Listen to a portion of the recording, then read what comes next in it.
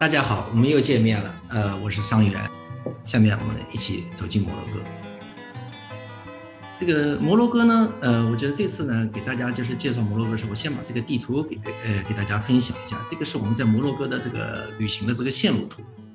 我们是从这个卡萨布兰卡这个入境，然后沿着这个逆时针的方向绕了摩洛哥一周。第一站是到了这个马拉喀什，第二站是这个瓦尔扎扎特。然后进入呃梅尔祖卡，梅尔祖卡实际上就是已经在这个撒哈拉沙漠的里面了。然后到了古城菲斯，接着去的是舍夫沙万，到这个就是靠近直布罗陀海峡的这个丹吉尔，最后经由那个拉巴特，再回到卡萨布兰卡。图上大家看这个颜色比较深一点的这个颜色的部分，就实际上都是已经是沙漠地带了。它的山脉是基本上沿着我现在这个鼠标的方向，这个方向。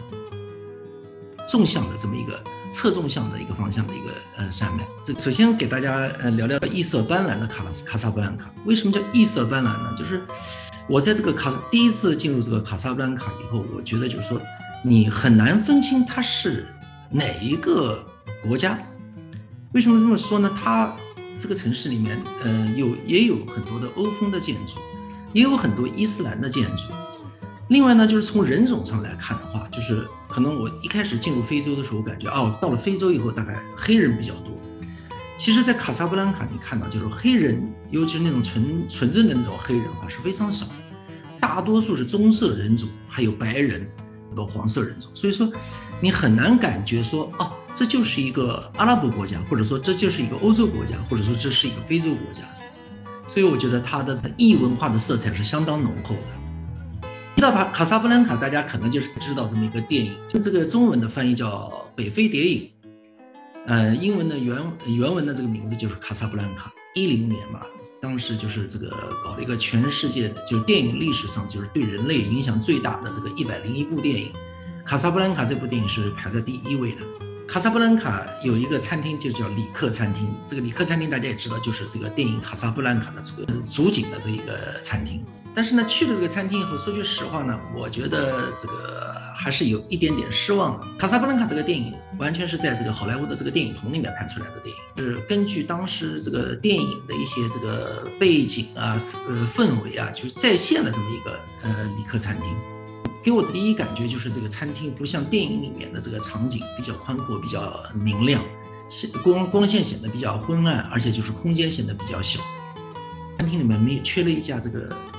这个作为里克餐厅最最有意义的东西，就是一架棕红色的钢琴。餐厅呢，呃，非常有人气，呃，建议大家去了以后一定要预约一下这个餐厅。另外，这个卡萨布兰卡里面有一个特别这个有代表性的建筑物，就是这个哈桑二世清真寺。嗯，这个清真寺的最大的特点，它是建在海上。从这张照片看，它这个清真寺是建在海上。摩洛哥现在依然是王国，它还是有国王的。这个摩洛哥国王呢，就是突发奇想，说做梦半夜做梦梦见说，这个真主让他在这个水上建一个清清真寺。有于是呢，这个摩洛哥国王就号召全国人民捐钱，呃，大概政府拿了两亿美金，然后这个又从世界各地的这个伊斯兰的这个信徒中捐钱，捐了大概三个亿到四个亿美金，总共花了六个亿美金建了这个清真寺。这个清真寺呢，对于伊斯兰教的人来讲的话，其实是个特别神圣的地方。他到这个做这个礼拜的时候，呃，室内是一共可以，据说是可以约纳两万人同时做礼拜。那如果加上广场上的话，广场的空间的话，据说可以一次能让这个十万人、十万个穆斯林同时做礼拜。海边你看有很多摩洛哥人呢，在这垂钓。离开这个呃卡萨布兰卡以后，我们第一站就到了这个马拉喀什呃伊夫桑罗朗的这个博物馆。大家可能知道这个 YSL，大家可能都知道这个品牌，那肯定是法国品牌，但是怎么会建在这个马拉喀什呢？伊夫桑罗朗的这个呃设计师，他名字叫伊夫桑罗朗，他就是到这个马拉喀什来旅游，结果他一来以后，他就特别喜欢这个地方，然后他就把自己的这个就是工作室啊就放在这儿，在这买了房子，然后在这住了很长时间。后来他去世以后，这个呃 YSL 就把这个地方变成了一个伊夫·桑罗朗博物馆。它这个外形实际上是借助了这个摩洛哥当地的建筑风格，然后又把这个伊布桑洛朗的所有的这个设呃礼赞营设计风格啊，都融入到这个建筑里面。这个是它的这个内庭院，它的内庭院其实是一个特别的这个氛围啊，特别安逸、特别肃静的一个地方。阿特拉斯这个山脉的这个阿特拉斯这个名字本来是就是古希腊神话里面的这个呃大力神的意思。这大力神是谁？大力神就是咱们大家比较熟悉的为人间盗火的普罗米修斯的这个哥哥。这个欧式建筑入门的地方会有两颗很大巨大的柱子，这个巨大的柱子是有一个这个就是会把它雕成一个雕像，就是一个巨大的人拖着这个呃房梁的，那个拖着柱拖着房梁的那个大汉呢就是阿特拉斯。然后传说阿特拉斯死了以后，他的身躯就化成化成了这个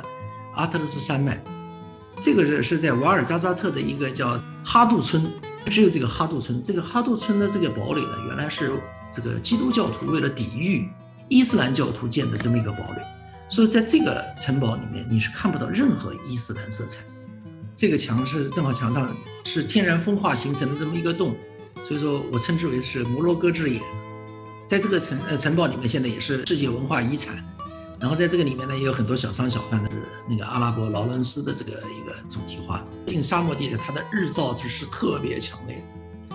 呃，哈杜城堡的上面以后，你就看着这个外面就是已经几乎是一片戈壁沙漠。在这个附近呢，有一个电影城，城里面拍的电影大家肯定都知道，比如说刚才我跟大家提的这个阿拉伯的劳伦斯、权力游戏啊，那个亚历山大帝啊，西藏青年，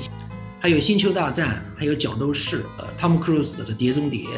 红海行动等电影，它的外景都是在在这拍。你在这个电影城里面，你几乎看不到任何服务设施，留给你的就是当时拍电影的时候的这个呃场景。在这个二零一七年的大年夜，就是十二月三十一号，我们住的就是瓦尔扎扎特的这个晚上，戈壁沙漠的这个反光，造成了这个就是拍摄成了这个效果。这个图大家不要认为是修图修成这个颜色，当时我们肉眼看到就是这样的颜色。戈壁上面的话，周围是什么都没有，所以说你会感觉到就是说，嗯，这个这个夕阳的颜色啊，或包括反出反光出来的颜色是特别绚丽。从这个瓦尔扎特出来以后呢，我们就进了这个撒哈拉沙漠。在这个戈壁滩上，我们还看到了一些就是戈壁滩里面修公路的，一看就是满脸沧桑的那个感觉，那个。约瑟夫跟我们讲说，进了撒哈拉以后风沙很大，说为什么就阿拉伯人老是用头这个头巾把脸包着，就是说一旦风沙大的时候啊，这个你如果不用一个头巾把这个脸、鼻子、眼睛包住的话，那个沙子一直会会穿进你的鼻子和眼睛里面。头巾的扎法呢，其实很特别，我们自己都不会，这是约瑟夫呃帮我们去扎的这个头巾。沙沙海泛舟嘛，这个要骑个骆驼做一个体验，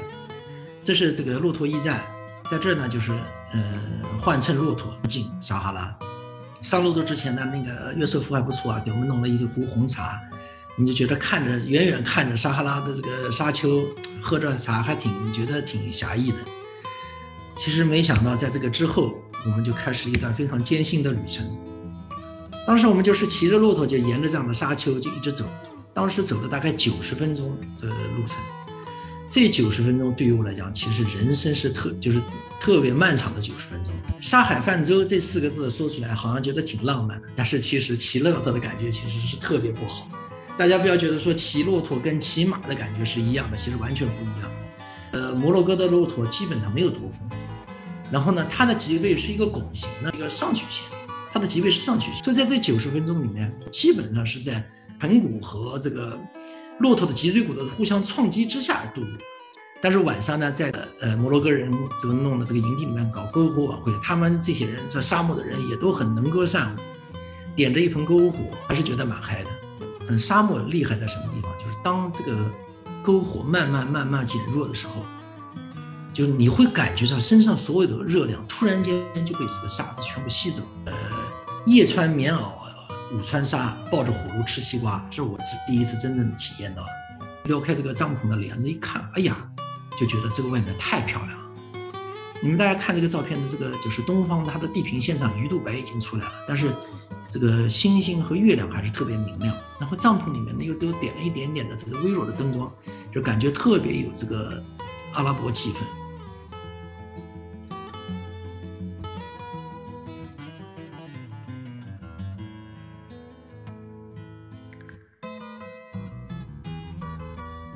除了撒哈拉沙漠，这又我们再次翻越这个勒斯山，那一过山脉以后，我们看到的就第一个，这是水库。呃，离开撒哈拉以后呢，我们就到了就是第一个一个城市叫菲斯。这张图的表示的年代大概是距今七八百年的伊斯兰帝国进攻这个就是在拜拜占庭时代的罗马，就是东罗马帝国的时候的一个进军图。大家可以看到，在那个时候，菲斯这个城市就已经存在了。这个城市基本上非常浓保留非常浓郁的就是伊斯兰的风格。这是它的市区层面。这个城市呢，主要部分就是以一个这个城墙。小城墙围起来的一个菲斯古城，街道也很狭窄，然后这个道路也很狭窄，这个门也很狭窄，所以呢只能通驴车。这个菲斯这个古城里的集市呢非常热闹，人来人往。城嗯，这个集市里面其实它。那这张照片我特别想看的，就是菲斯城内是没有自来水的。大家看到这个照片的这个左下角，它是有一个水渠，水渠里面的水质我看非常清澈。而且这个城市里面依旧是，就是说大家都是靠它来这个供水的。菲斯这个古城里面另一大特色的皮货集呃这个集市，包括加工地。我们下一步就去了这个呃叫舍夫沙万这个地方，这个这个城市太特有特色，它几乎所有屋房这个建筑的这个墙壁啊都是涂成了这种蓝色。所以整个城市你进去了以后，你感觉你是在一个蓝色的城市里面。这个，然后后来我就问这个导游说：“我们为什么他们会把它这个城市都涂成蓝色？就是传统的说法，因为这个地方的蚊虫比较多，说涂了蓝色以后呢，就可以防蚊虫。我认为它多多多少还是受了欧洲葡萄牙、西班牙的一些，包括这个希腊文化的影响，也就是。它的周边的产地里面一定会有很多这样的颜料，这个小一袋一袋的，就是卖在卖颜料，就涂房子的颜料。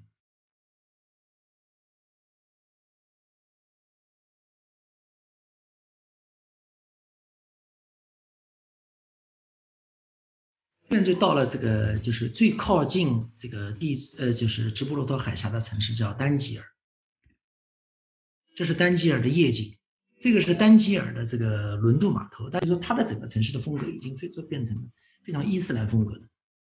这个灯塔就是整个非洲最靠近欧洲大陆，呃，也就是说咱们面前的这个海峡就是直布罗陀海峡。这张图就是罗马帝国当时罗马帝国的边界线。而卡萨布兰卡并不是摩洛哥的首都，摩洛哥的首都是叫拉巴特。嗯，现在我们这个照片就是拉巴特。拉巴特里面给我的感觉，它是一个相对这个摩洛哥其他城市啊，它的城市是比较新的，就是这个哈桑五世的墓。你看卡萨布兰卡的街区，实际上这个这个是它的主要的商业街，已经非常西方化了，你完全分不出它是在非洲还是在欧洲。在摩洛哥能感觉到欧洲文化、基督教的化，也能感到伊斯，那么当然呢，更多的是感到这个伊斯兰的这个文化。它有很多的这个，在我们来看，本来伊斯兰是伊斯兰，基督文明是基督文明，它不调和的东西，在摩洛哥其实都得到一个非常好的调和。我觉得这也就是可能真正是所谓的这个，呃，摩洛哥的一个一个文化和特色吧。